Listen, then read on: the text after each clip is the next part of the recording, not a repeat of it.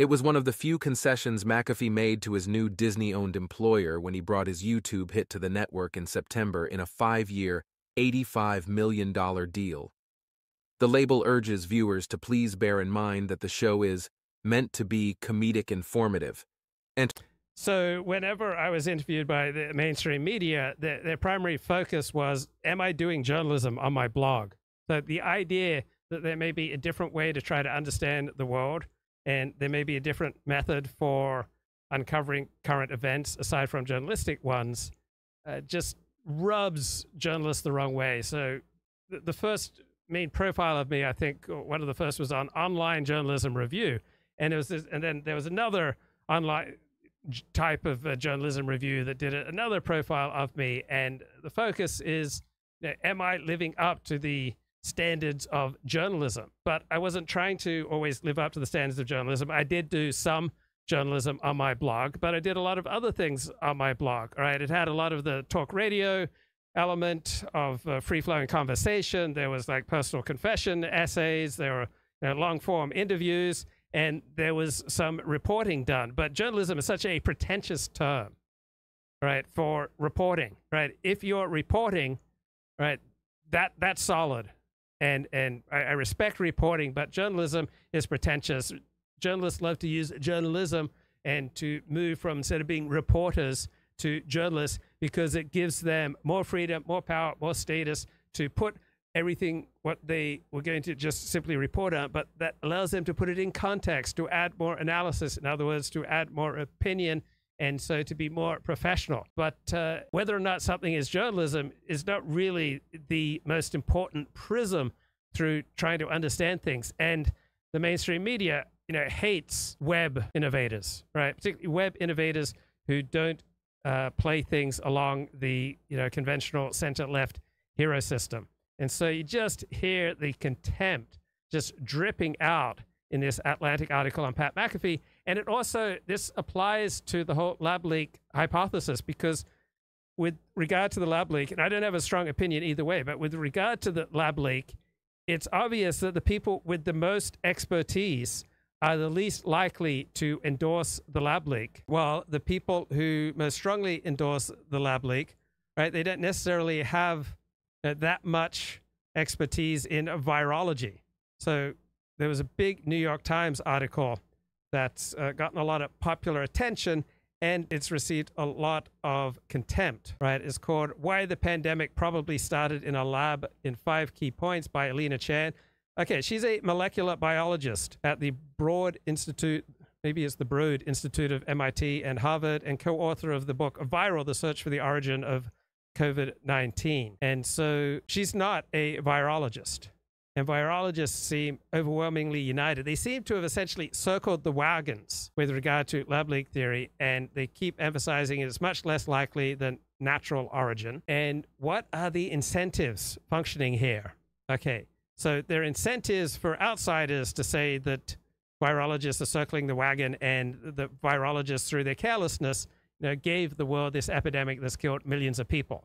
So that's an exciting opinion to give. But virologists also have their own incentives. All right, if coronavirus likely came from a lab leak, then we need much more careful policing of labs. We need much more careful policing of virologists. They need much more regulation by outsiders because virologists, like other members of insular professional groups, right, overwhelmingly organized in their own self interest and not in the public interest. Right, being a virologist would become a dirty word if this pandemic was created by virologists. You've heard of firefighters who go out and light fires and start fires so that they can then sweep in and be the heroes. So I don't believe there's evidence that viral, you know, any virologists in China deliberately constructed COVID and deliberately spread it.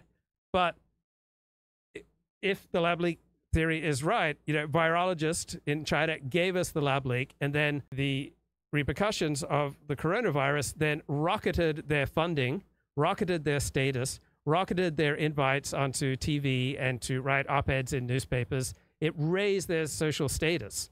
So, if the lab leak is true, virologists both gave us the virus and then became the preeminent experts in the virus. So, I don't think these considerations are something for which virologists are just completely immune. So Dennis Prager often talks about how he is immune from all sorts of you know human temptations that he would never compromise in this or that.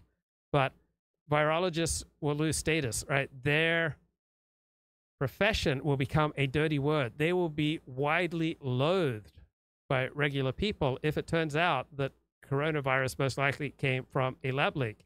They will face more regulation, right? They will face more investigation. They will have to jump through more hoops to get funding. Funding will become more difficult to, to achieve, right? Their lives will become much more difficult.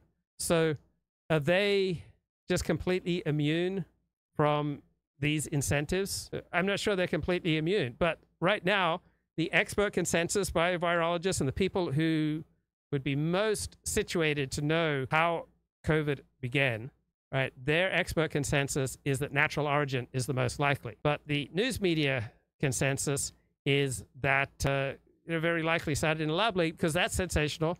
Uh, that's interesting. So the sensational and the appealing and the interesting and that which emotionally feels good is like, F the experts, they gave us this pandemic in the first place. F them, right? I can understand why that would feel good. But what feels good does not necessarily do good and is not necessarily true. But you see this same bowing to expertise in this profile here of uh, McAfee in the Atlantic, right? That he's not following journalistic protocol. And because he's not following journalistic protocol, all his conversations with Aaron Rodgers and all his conversations with professional athletes and everything he's done on his show, it won't last in history. Nobody will ever refer to it. Nobody will ever quote it. It has no value because he's not following journalistic protocol.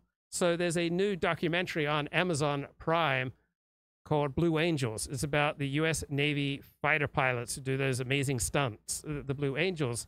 And I just watched the first 20 minutes, and it seems obvious to me that they have very strict protocols. All right.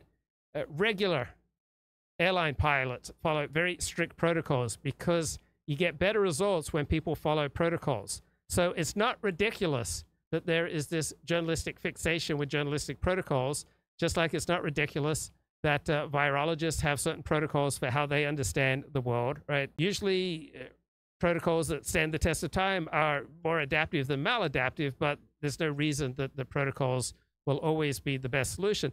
But I know from my own experience as an interviewer, there are certain protocols you should follow to do the best interview. You should not inject your opinions into the interview. You should not uh, condemn people in your questions because that just creates a defensive reaction and that just restricts how much they're going to share with you. So you should ask open ended questions, not questions that end with yes, no. There should be a progression to your question, and you should keep judgments and moral judgments in particular out of your interview. So there are definitely very useful protocols for airline pilots, for journalists, for doctors to make sure that you haven't left a sponge or some medical instrument inside of someone when you've done surgery.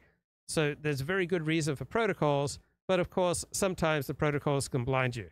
Right, back to the Atlantic essay on ESPN, just to set the scenes for further investigation of the lab leak hypothesis. Entertainment, in other words, not journalism, and that the often dopey opinions and sometimes false facts shared by him or his guests do not necessarily reflect the beliefs of anyone else at ESPN. The warning ends with a jokey plea don't sue us.